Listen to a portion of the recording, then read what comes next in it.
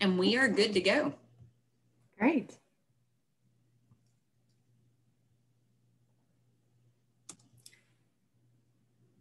Well, hello everyone, and welcome to our first session of our Spring 2021 book study of the Assessment Playbook for Distance and Blended Learning by Doug Fisher, Nancy Frey, Vince Bustamante, and John Hattie. My name is Carrie McDaniel, and I am joined today by Misty Higgins. And we are professional learning coordinators in the Office of Teaching and Learning, the Division of Program Standards at the Kentucky Department of Education. We are so excited to have so many of you joining us tonight from across the state, and we have a wide expanse of roles represented for this study, teachers, instructional specialists, school and district leaders, professors, and state and regional support staff, just to name a few. So it will be an energizing collaboration tonight, and we're so excited. We're going to encourage you to post questions and comments in the chat when prompted tonight to stay engaged and to help make your thinking visible. Just a few brief reminders about Zoom before we get started. If you'd like to see the comments from all of the participants and not just your own, you're going to want to open up that chat box and that's typically on that right-hand side of your screen. And this meeting will be recorded for you um, to access and watch later. So we will post that after tonight in Google Classroom in case you would like to uh, lead this study back in your school or district, or if you'd like to rewatch parts of it. And then we really want to see your smiling faces, but if for some reason you're unable to keep your video on for bandwidth or surrounding distractions, we totally understand that um, if you need to turn your camera off, but we would ask that you would mute your microphone unless you are sharing with the group just to kind of avoid some of those background noises.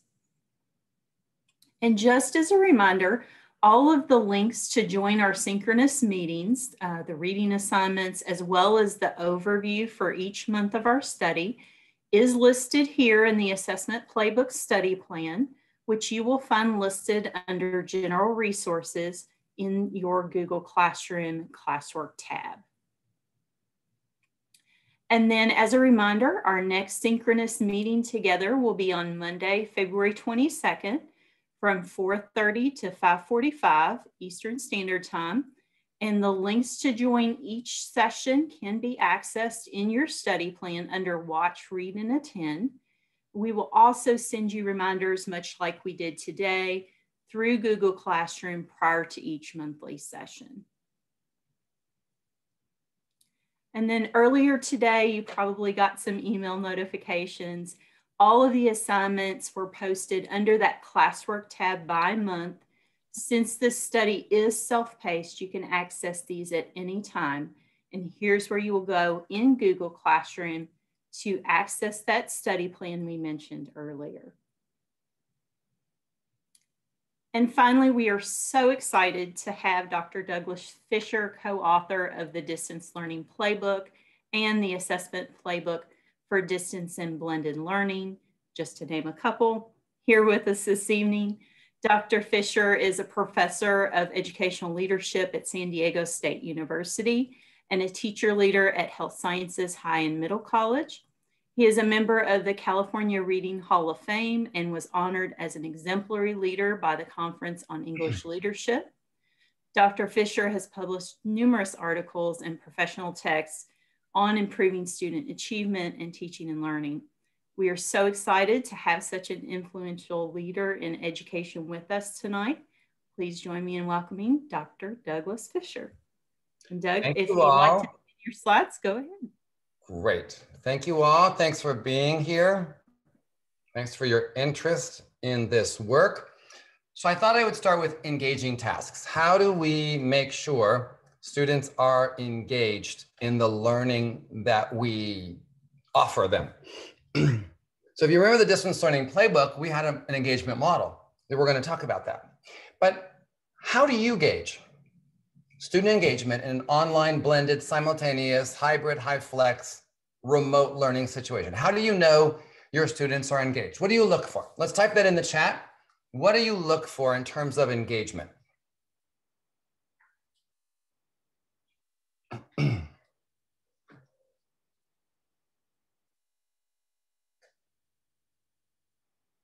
Paying attention, thank you. Participation, thinking visible, they're talking and they're writing.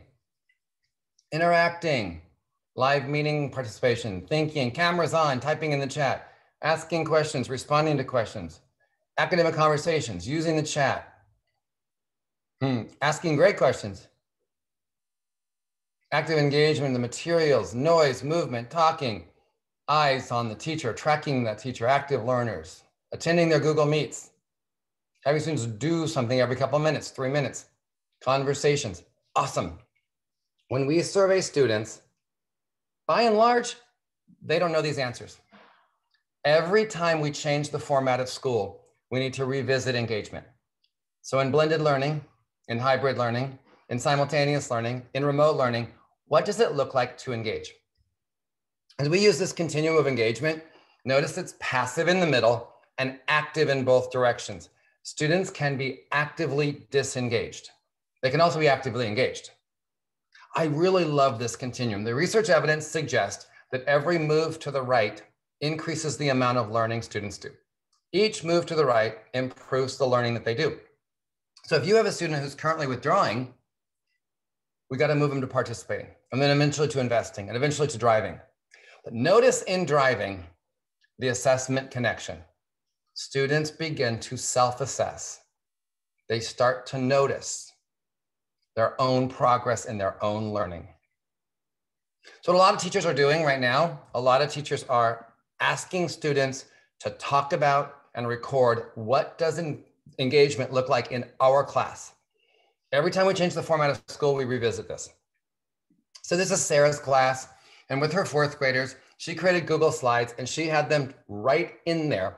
What does it look like? I'm gonna go fast because you can do this with your own students. This is what it looks like in our class when we are disrupting learning.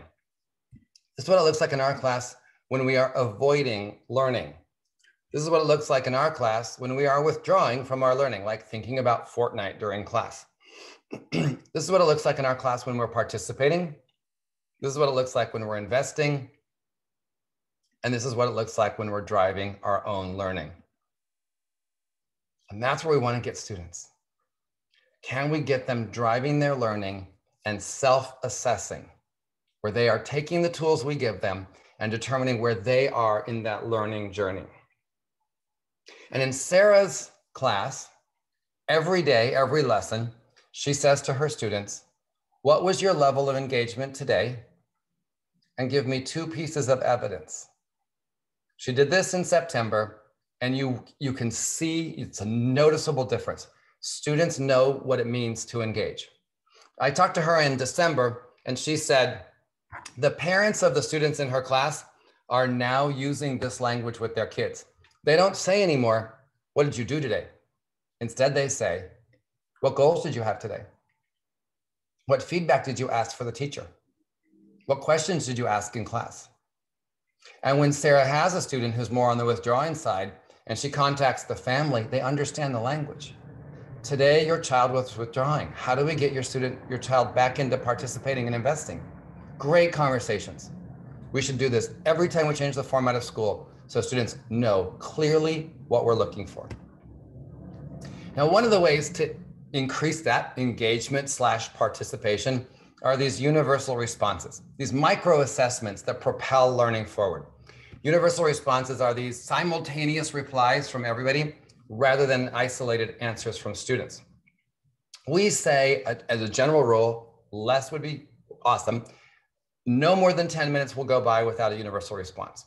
That every 10 minutes, students have a response opportunity they are invited back into the learning through a response, at least every 10 minutes. but before I go into too many examples, I want to comment about wait time. I think by and large, we forgot about wait time when we started pandemic teaching because we were teaching to little empty squares. We were not seeing a lot of faces. And so what happened is we just went for it straight through and we were seeing very, very little wait time. Here's an infographic on wait time that I really like. In the chat, what is jumping out to you from this infographic? What are you noticing? Like what's speaking to you and the work you do on this infographic. Courage, thank you. Yes, risk taking, courage, effort. They have to listen, building up the courage. Processing time. I wish the researchers hadn't called this wait time. I wish they called it thinking time or processing time, but it's called wait, wait time in the research. Listening to respond, processing time. It's not always the same for different students that have different needs. They may have to translate. It takes time. I like that. It takes time to think deeply about something. They need confidence. And wait time too, I think is really cool. After students answer, you wait a little bit to see if they'll extend their response.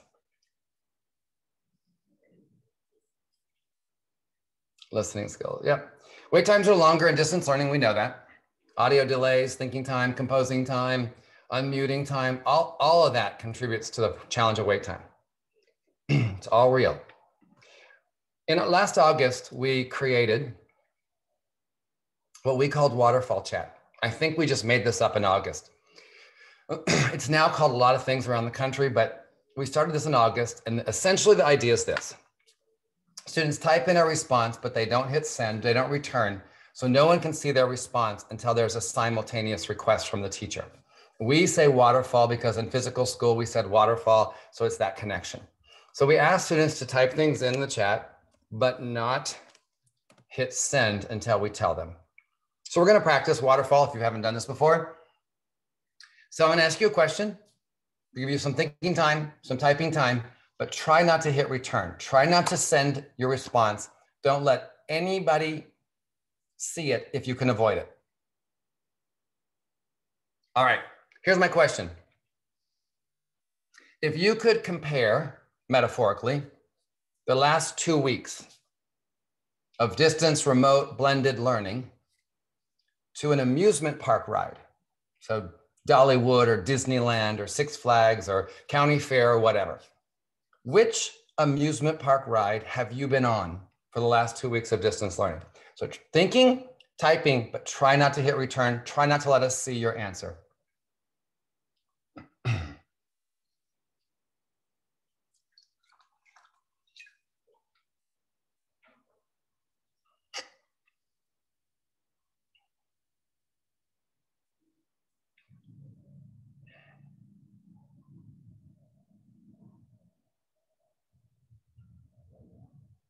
And waterfall.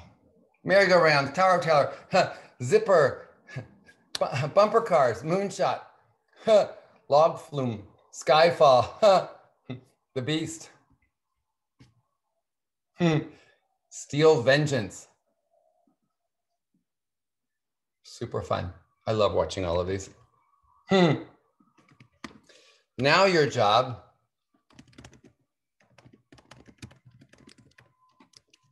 Now your job is to go back, do a chat review, scroll back up, find an answer that made you laugh or resonated with you or you connected with. Copy that person's answer, paste it in the chat, make a dash mark, and tell us why. There's my example in there. This is not waterfall, this is live chat, chat review. Scroll back up, find an answer, copy paste, dash mark. Why is that one making you laugh, resonating, connecting, etc.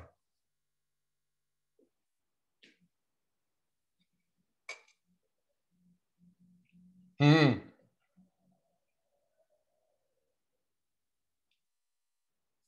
Hmm. Going circles, not getting anywhere. and you try to control the spinning. Hmm. Yeah, scares you. Yep. Makes your head hurt. Ups and downs. It's so accurate. Yep. So much going on at once. I never write it. Need more arms. Mm-hmm. Awesome. A vivid memory for the family. Thank you. Sometimes you feel like you're going in circles. Awesome. if you have not done waterfall chat or chat review, if this is new for you, could you come on voice video and tell us how you felt about this as a learner? Anybody willing to come on voice video and tell us how you felt about these two as a learner. Um, I actually really enjoyed this. I've, I've never done it. Uh, I, I, am a math teacher in LaRue County, and I think that even in, in, in, math, I could really have some fun with this in some of my Google Meets right now. Um, I'm quarantined because I got COVID, and I've got a few more days left to quarantine before I can get back in the school.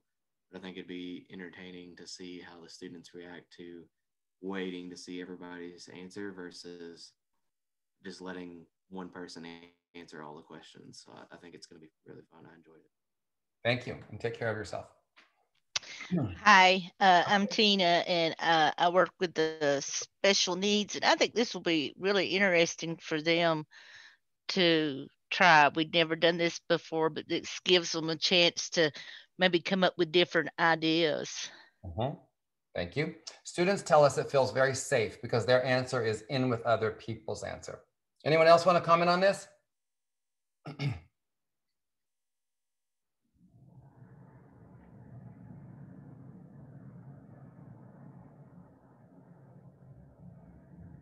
Did all of your internet connections just crash?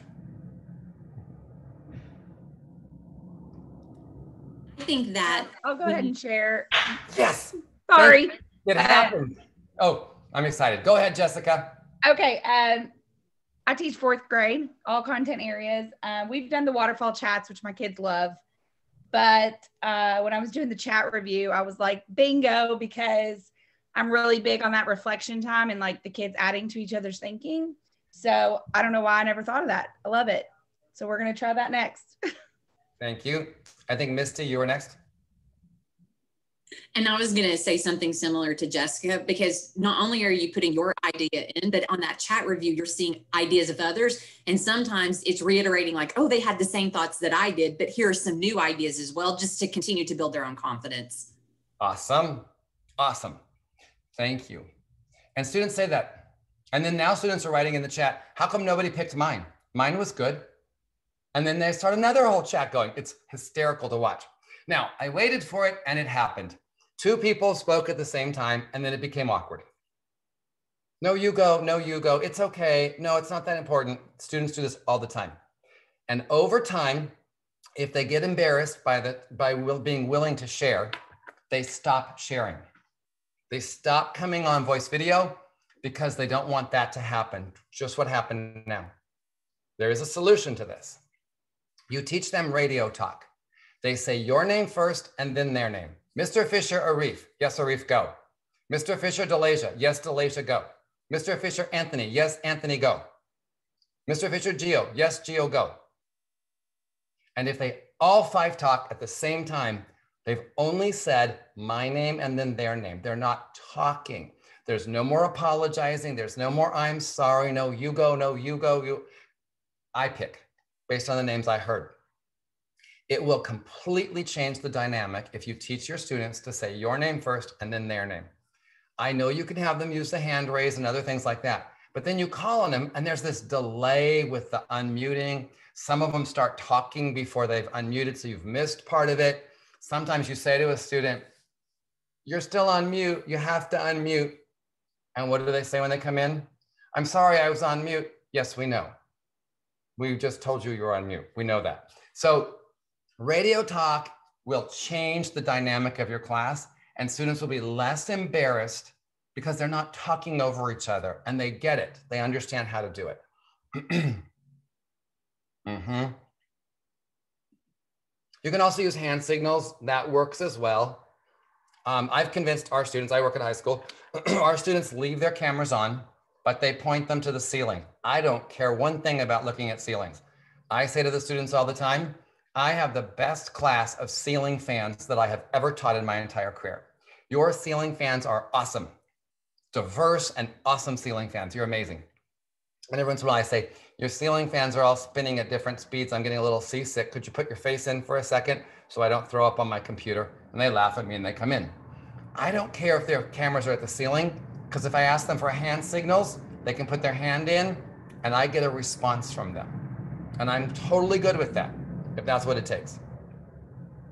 Early in the pandemic, we did not see a lot of response cards. Now we see them every day. Different grade levels, different content areas, response cards are very common. So let's look at a first grade class. Or I should say this. When we watch videos together, live chat. That means chat in real time. If there are things you notice in, that the teacher is doing, things that you're appreciating, put it in the chat. Name the things you're seeing. The word is mat. Mat. What is the beginning, the middle, and the ending sounds in mat? Mat. Thank you, Brahim. Thank you, Leah. Thank you, Dariana. Thank you, Dominic. Mat. What do you hear? Mat. You can always stretch the word. Mm, Mat. Here we go. Mm, Mat. Mat. Good.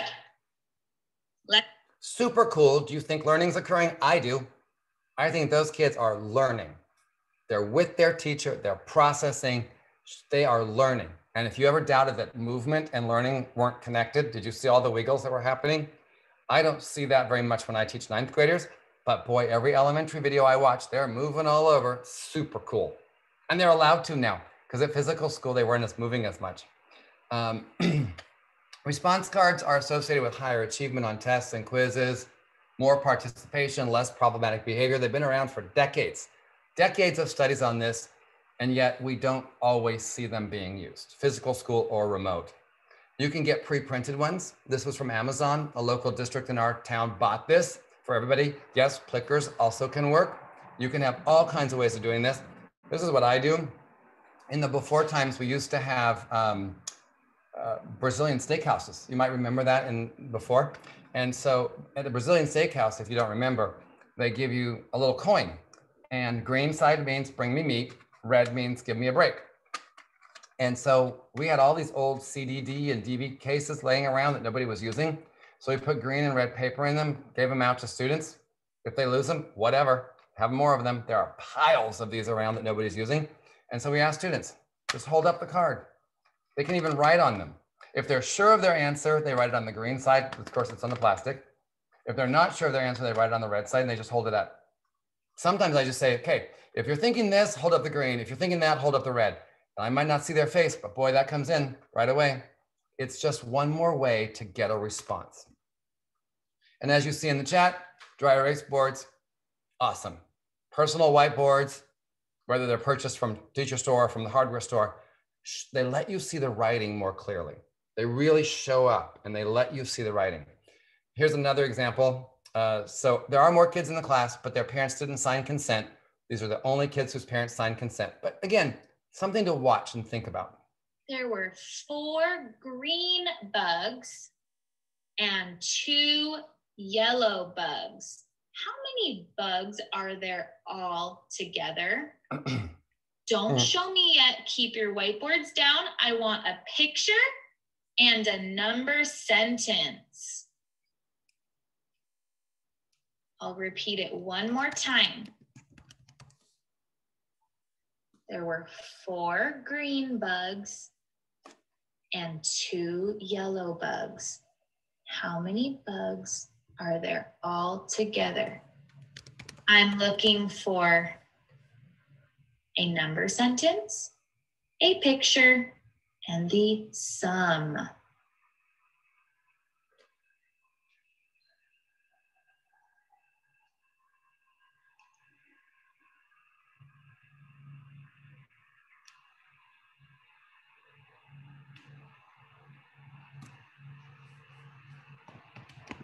I see a couple thumbs up. That means you're ready. One, two, three, show me. Hold it still so I can take my picture. All right, perfect. Thank you. Go ahead and put it down. And erase. Good work, first graders. And I recognize when cameras are off, it's a challenge. I recognize that. And our district policy here is you cannot require cameras on. You can ask students to turn them on. You can tell them why it's important for them to turn it on. You can act like they're going to turn them on, but you can't require it. So in November, last November, we started this new thing. We act like students are going to turn on their cameras and we say to them, let's turn our cameras on and I want to see your work in three, two, one. Most of them do. And often after they show the work, they turn it back off. So here's an example of that.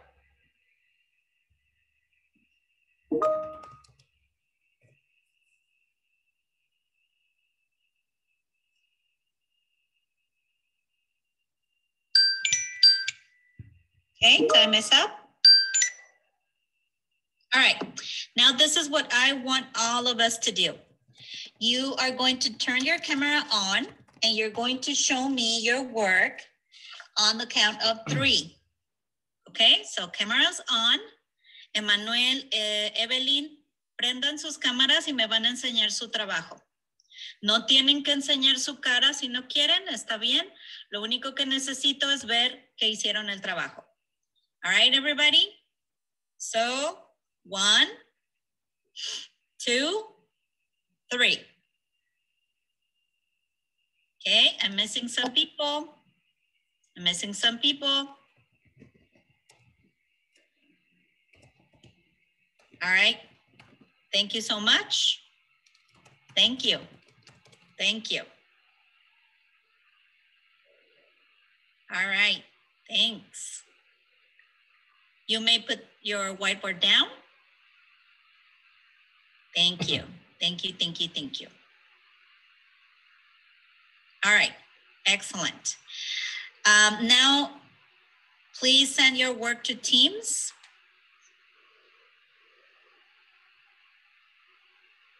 If you haven't done so. All right, thank you. Thank you.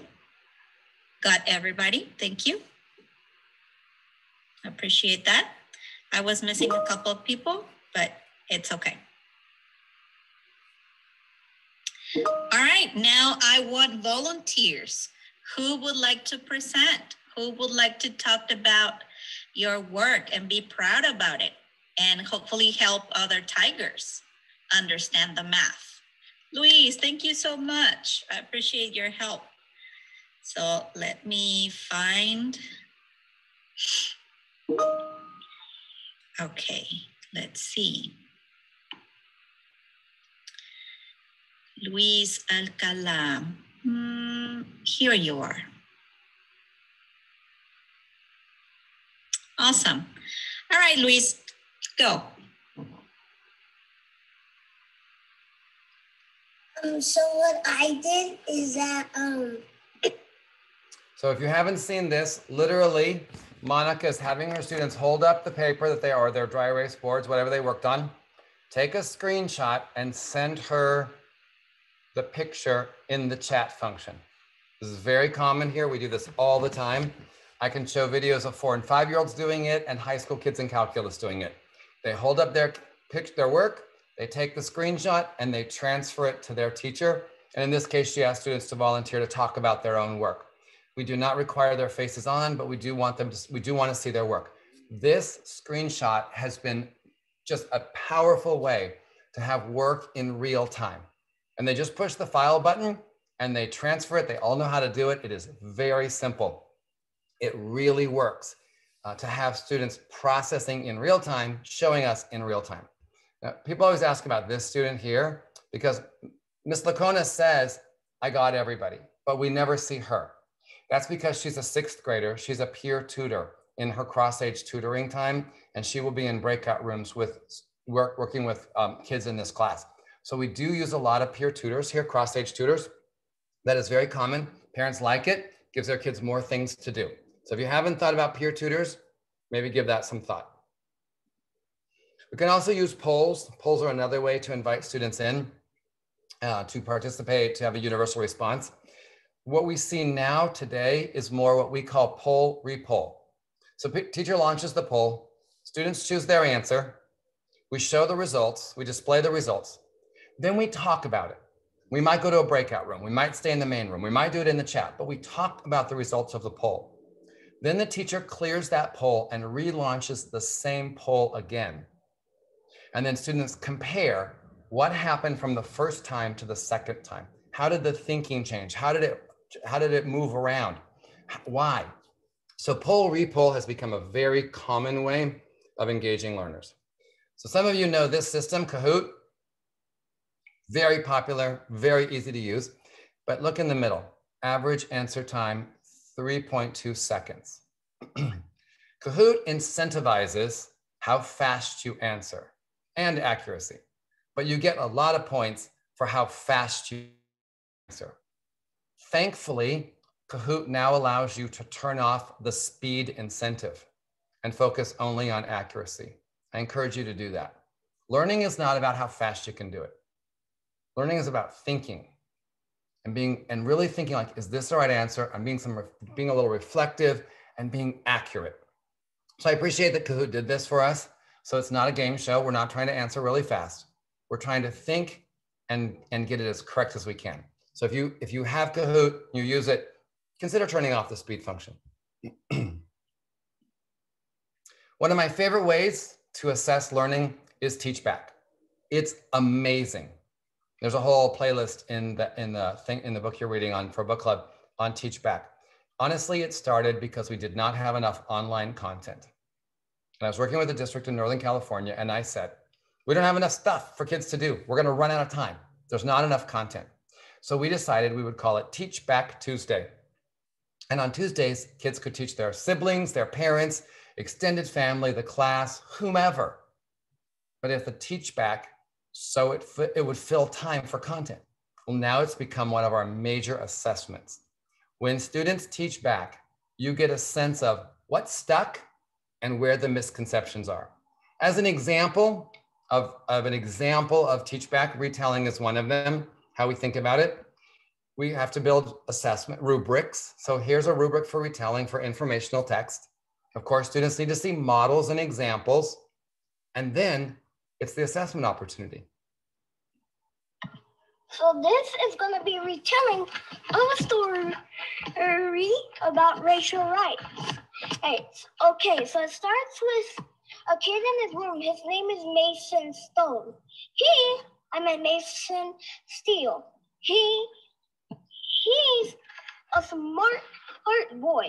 He was, he he was, writing in his room when his father called for his name.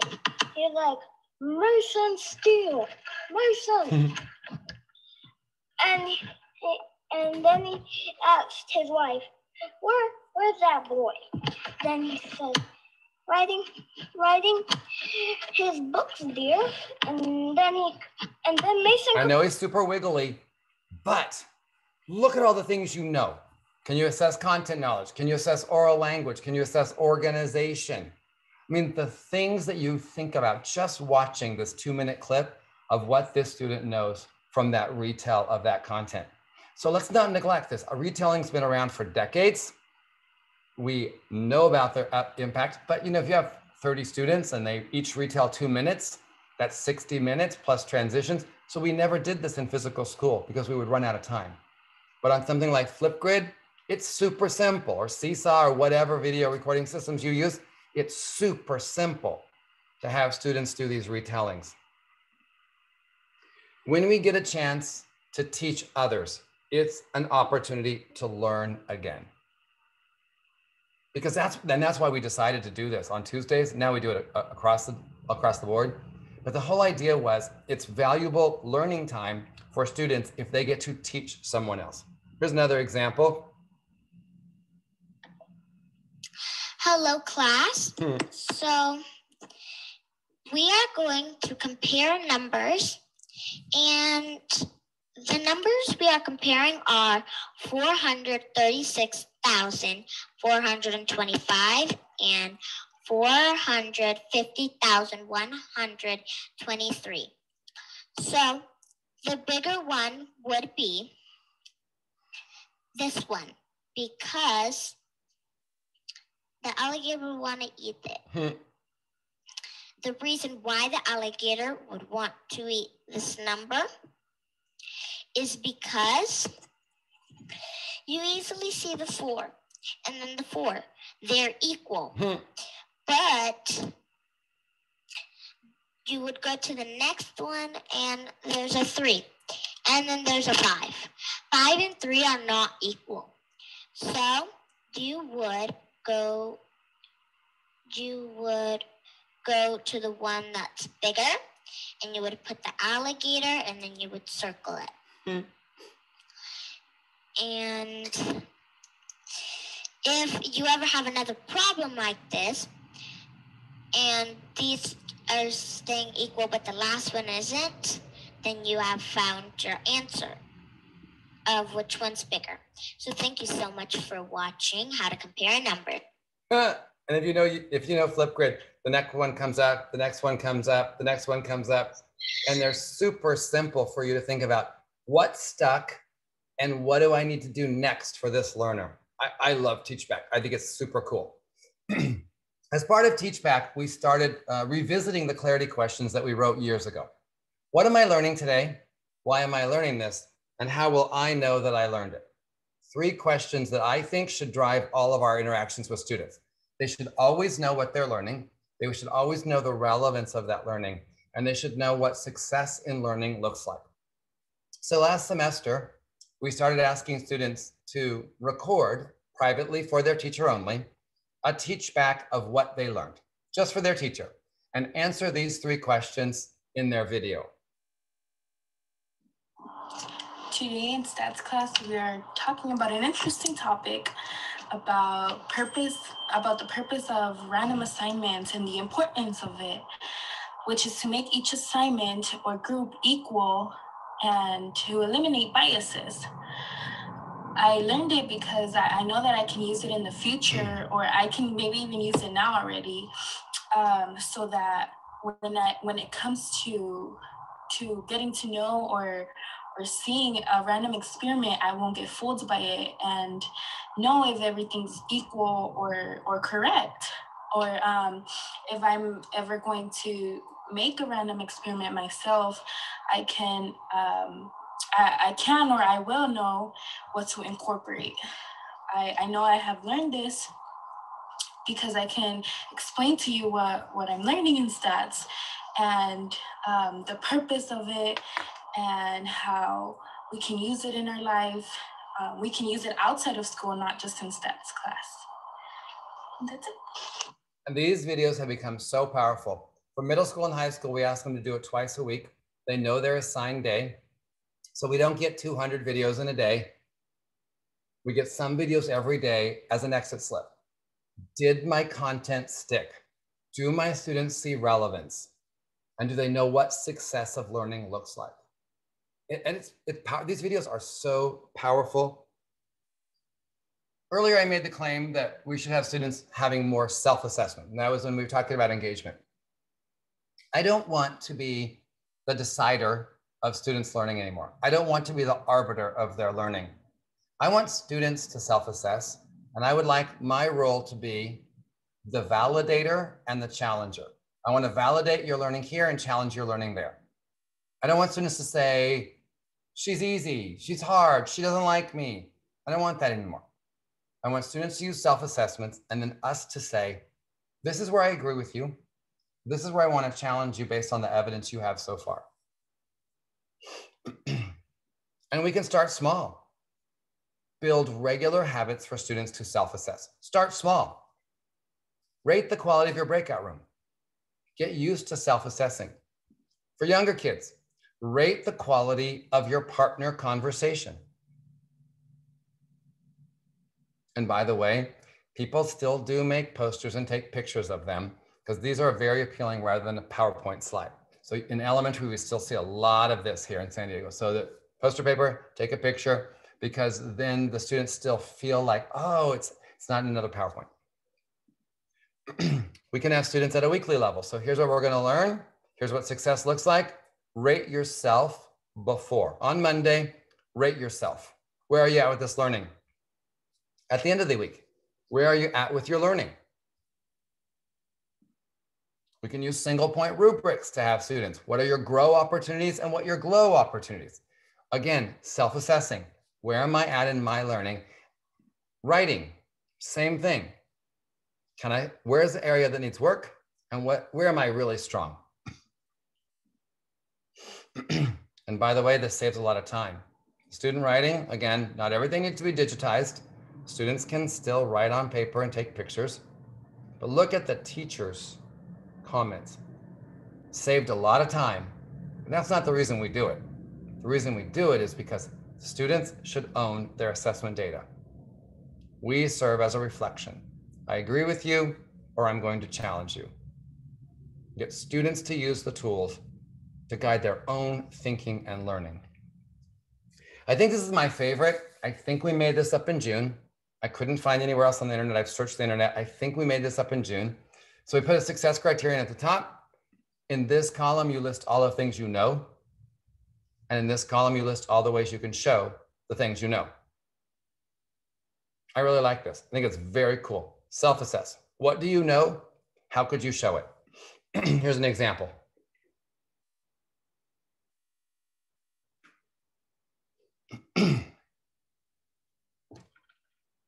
Here's another example from Anatomy and Physiology, more narrative version.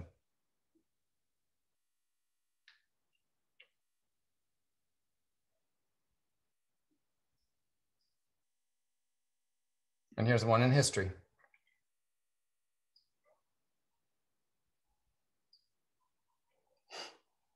And students are using these tools to figure out what I know and how I can show, or this student changed it, how I can prove it.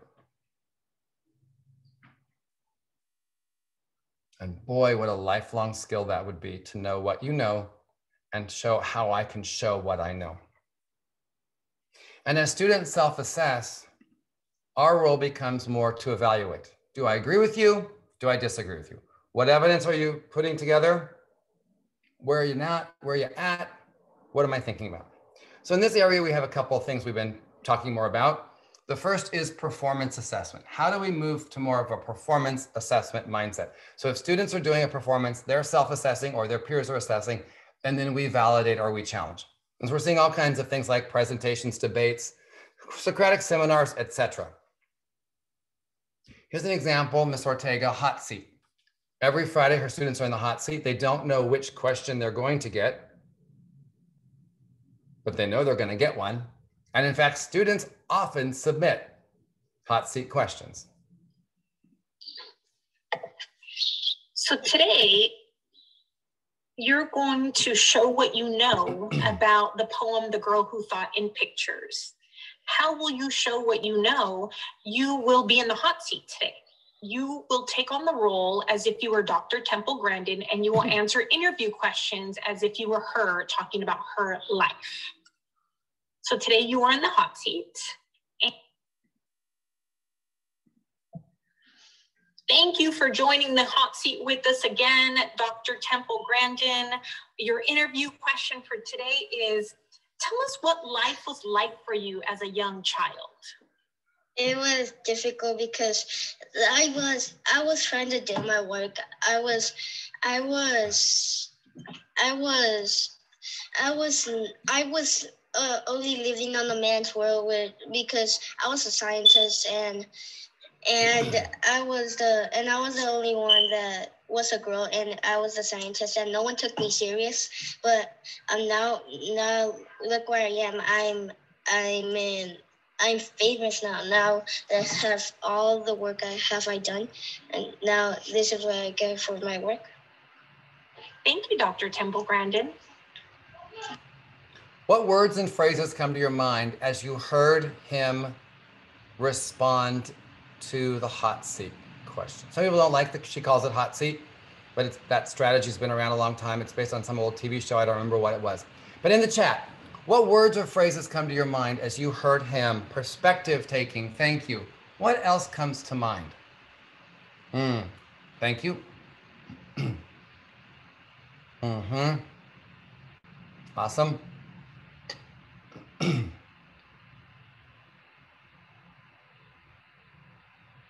awesome. Perspective, point of view, empathy, all evidence from the text. Relaying information. There's evidence of his learning. He understands that text in that individual's life. Yeah. Super awesome. I really, really like that hot seat. I think that's really fun to play. We're seeing a lot more podcasts now a lot more podcasts. Like I watched a kindergarten podcast of kindergarten, I listened to, Nancy showed it to me. Uh, there's images that pop up. So I guess it's video cast, but images pop up and you hear kindergartners' voices and they're telling stories. It's hysterical. They are so funny. Um, not all the parents have signed consent yet, so I don't have that one to show you. I have this middle school one, an immigration project. This is a, a teacher in Canada, middle school teacher. The students, uh, different groups have different plays. Um, this group organized there about theirs on the country of origin. The art class at the middle school created a bunch of art and different student groups could choose the art from the art class. The music program built a whole bunch of songs that they could use. So different groups could select the songs for their own podcast. Different services, I can just open up.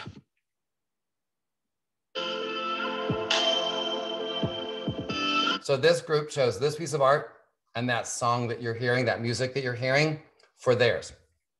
And their, theirs is organized by country of origin. In Canada, in, in middle school, they have to learn about immigration policies and versus refugee. There's a whole curriculum that's required. And so that in distance learning, the teacher decided to do it this way rather than just study policies. So here's part of the interview. Just uh, regular interviews with uh, parents or family. Processing or when we get to Canada? Um, yeah, kind of like the processes, processing. Uh, it's it's took a very long time. It's not that it's it's not difficult. And that's it. And they're pretty cool. I think these podcasts are pretty cool. Um, and there's just all kind of Anchor FM. There's all kinds of ways of doing this, and students are really enjoying putting together podcasts. The last one I'll put together is uh, in this area around performance is a public speech. So students can still give speeches just like they did before, give their public speech. This assignment was a PSA. What public service announcement do you need? I chose this one because I hope it also, in addition to being an example of a student giving a speech, I hope it also speaks a little to your heart. Can you hear me? Yes. okay. Good afternoon, ladies and gentlemen. My name is Abigail Tabanda. In the beginning of this year, on January 26, a beloved NBA legend, Kobe Bryant, passed away. Along with eight other passengers, one being his daughter, the helicopter they were using to travel to a sports tournament was met with devastatingly heavy fog that disrupted the pilot's ability to fly the helicopter. That day, parents lost their children, people lost their siblings. Many lost their friends, colleagues. And why do I bring up this awful moment that foreshadowed the rest of our chaotic year? To remind us that life is short and could be taken away at any given moment. Most importantly, to encourage us to talk to our loved ones. The world has been in a state of chaos for the past eight months. Many are coming to the right realization that life is short. When something like a virus is being spread, people feel that's the time to prioritize family. Prioritizing family shouldn't be done when it's most convenient. The world we live in is unpredictable. It saddens me to say, but accidents happen every day. People are dying every day. Be sure that within your homes, in case of an emergency, you have the contact information of those dearest to you. Be sure that your family's insurance information is ready and available. Most importantly, be updated and aware of the situations around you. The time to tell those around you, I love you, is now. The time to tell them how much you appreciate them is now. Don't let your pride push away your opportunity to show affection to your parents. And don't let fights with your siblings be the last conversation you have with them. This has been a public service announcement. Thank you. And I just, every time I watch it, I say, wow. The advice from a 17 year old don't let your pride get in the way of showing affection to your parents. The time to tell the people you love that you love them is now. I just, I just love that this is with her assignment and her public service announcement. It's just, yeah, it is such a wise and thoughtful, and then delivered beautifully.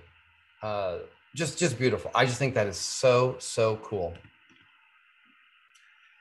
I learned a new word a few months ago, uh, five or six months ago. Uh, Nancy and I were on a search for something. We were disagreeing about something. And I ran across this ipsative assessment. Never heard of it before in my life. So impress your friends tomorrow with this idea of ipsative, where you compare a student's per- present performance, their current performance, to their own past performance. I think as we try to figure out how to recover learning and accelerate learning, this is going to be a major form of assessment we should use. Compare the student to the student back in time. And like athletes, set a PR, make a personal best. Stop comparing everybody to everybody else. Where are you now? What's your next? What's your next? What's your next? I really like this form of assessment. I think this is a very powerful way that we can address some of the inequities, some of the trauma, and the learning needs that our students have. Here's a word card I found on the internet.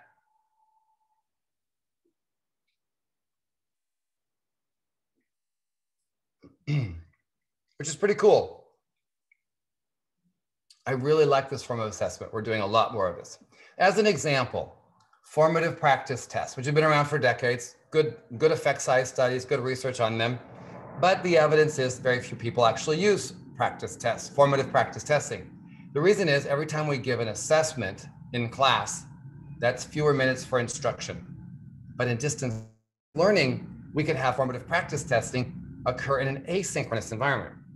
So what do we know? We know that a year after instruction, students who got a formative practice test outperform students who did not. One year later, they still perform better. the evidence is that feedback, or sorry, that they're useful in both elementary and secondary. Good research on both. That feedback paired with practice enhances learning. That's, I mean, this is, uh, of course, they see their errors and they're more likely to take the feedback. And the value seems to be in students reflecting on their own results. So we don't score, grade practice tests. We score or evaluate their analysis of their practice tests. We don't care what they got right or wrong. What we care about is their analysis. Mm-hmm. uh-huh. Focus on growth. Yes. And and do more. Yep. Mm-hmm. Beat, beat their personal best. Yes. So on the practice test, we ask them, what are the complex things you got right? What are the complex things you got wrong? What are the foundational things you got right? Foundational things you got wrong? What did you do well? And by the way, if you know the study skills research, students tend to study things they've already learned. It's more comfortable. I'm doing my studying, mom. I'm working really hard, mom, but they're studying things they've already learned.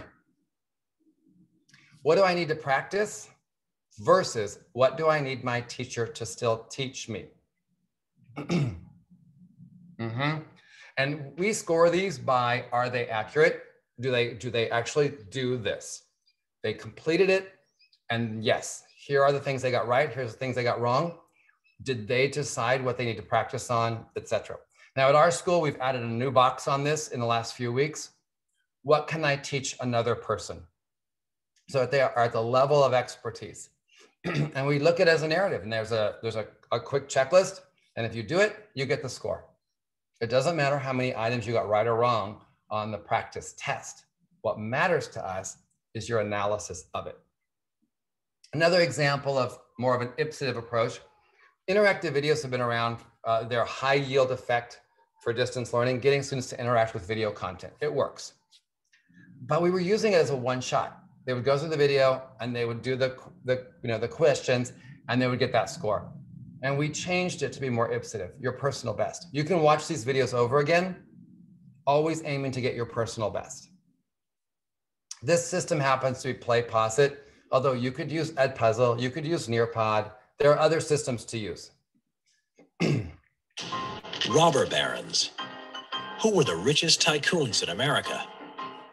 In the late 19th century and early 20th century, there were Americans who made vast amounts of wealth. These tycoons gained the derogatory nickname robber barons because of the questionable methods they used to acquire their fortunes and build their vast industrial empire.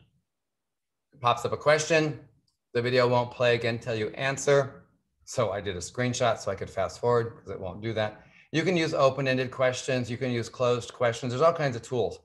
But we allow students to watch these over and over again to get the score they want. the third kind of evaluation we call confirmative assessment. How are you confirming students' competence or what's next for them? We do see, as teachers talk about, a fair amount of cheating. We hear that a lot. Students are cheating. Now, I, I still, I, I still think about this a lot. Like, if they're Googling things and they know how to find good information versus bad information on the internet, that's still a skill to develop. I mean, that's a good skill because a lot of bad information is on the internet. If you haven't seen it, there are literally thousands of TikTok videos on how to cheat on just about any kind of test the teachers have come up with. I mean, thousands of TikTok videos. We also see parents doing overhelping, parents telling kids the answers, parents doing the work for the kid. Not helpful, but it is happening. Here's a tweet. Hmm. And just for a clarification, I doubt the teacher said, you are mom is right. I bet the teacher said, your mom is right. I think that's super funny.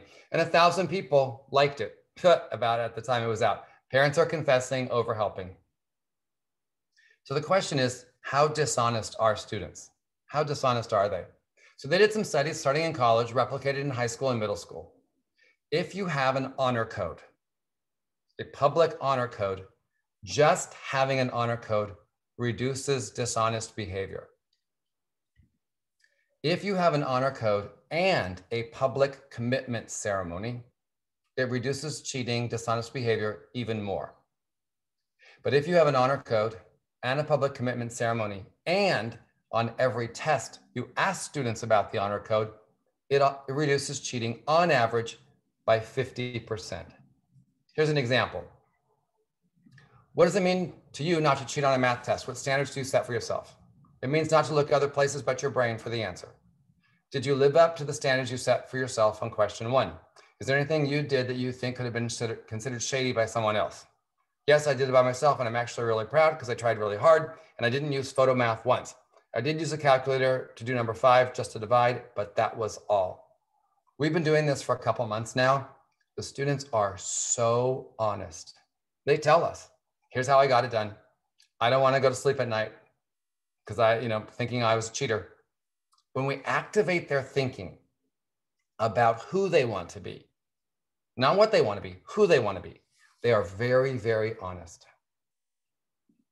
Here's my favorite assessment that I've seen in the pandemic. Math teacher said to the students, lucky you, the test is completely finished. All the answers are there. All the work is shown. Lucky you, it's done. Here it is. It's your test, completely done. Your job is to figure out if the person did it, did it right or not, and if not, what caused the error? You can Google the answers. The answers are already there. What caused the error, not what the error is. Actually moving students into error analysis. Actually moving students into thinking about what causes errors. I think this is an awesome assessment. I think this is a fantastic piece about how we invite students into learning. So I'm going to pause there. I'm hoping some of you are thinking, I'm taking something with me. I'm, I'm interested. Anybody really willing to come on and talk about what is what's a takeaway, uh, something you're, you're thinking about, you're, you're planning to use?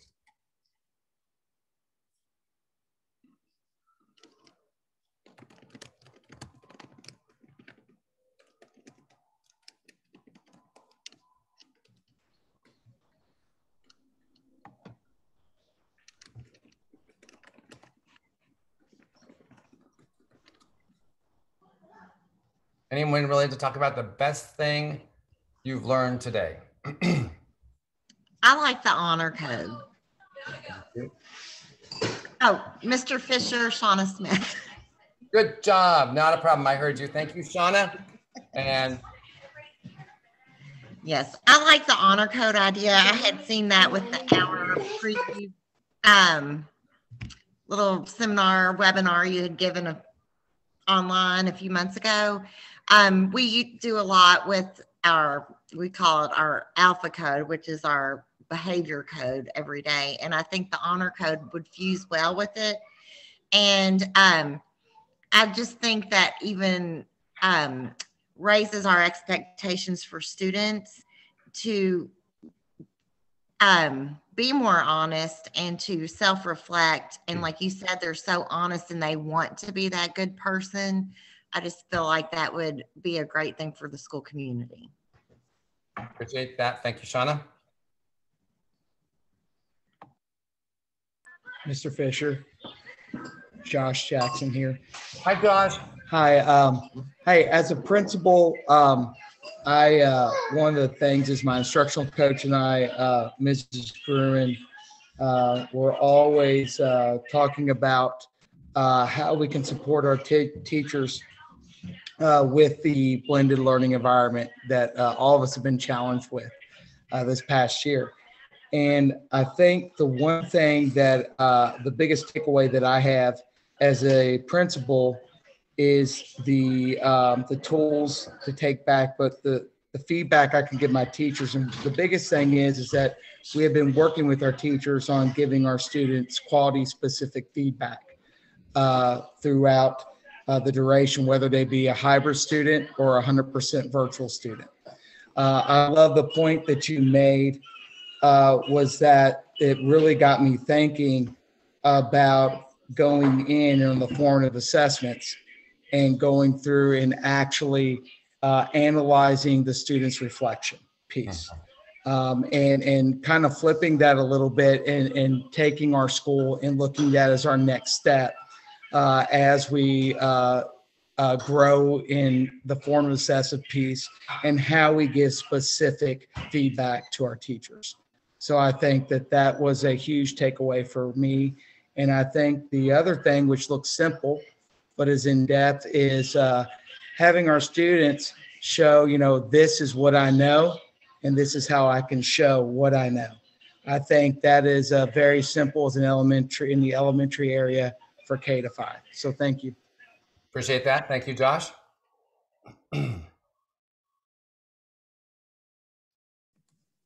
Dr. Fisher, Tara Griffith. Hi, Tara. Hi, uh, I just wanted to say thank you for the um, way that you connected um, uh, everything together so that teachers do not view this as one new thing or one additional thing, but yet still considering the student engagement and those practices that we discussed um, in the, the distance learning playbook, uh, tying it back into the clarity, the three questions so that we are still asking um, and very intentional in in what students are learning and and why and then also tying it back into that that critical piece of the self-assessment moving students students towards being um, visible learners of their own uh, learning and the self-regulation piece. So just showing how everything is um, full circle and connected and not separate entities or, or the next thing down. Thank you tara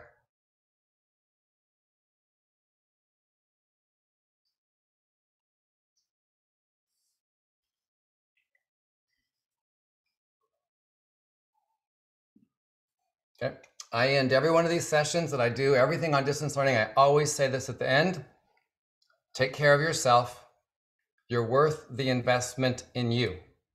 Whether that's a morning routine or an afternoon routine or a lunch, Zoom lunch with colleagues, whether it's a wellness plan, whatever it is, take care of you because you're worth the investment. Don't burn out. We need you. This profession needs you, your kids need you, and your families need you.